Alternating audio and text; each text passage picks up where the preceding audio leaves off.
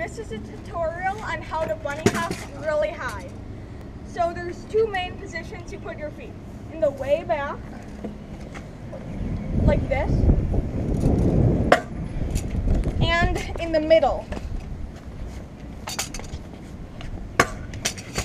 As you can see, well, they both can get high, but I recommend the back because it's easier to get high. So starting off with the back foot position, you put your foot in the way back, like right by the brake, and then lean the front of your scooter up and pop the back up with it. Bring, bring the bars up to your shoulders so your scooter gets higher and make sure to bend your knees. Otherwise it looks like this.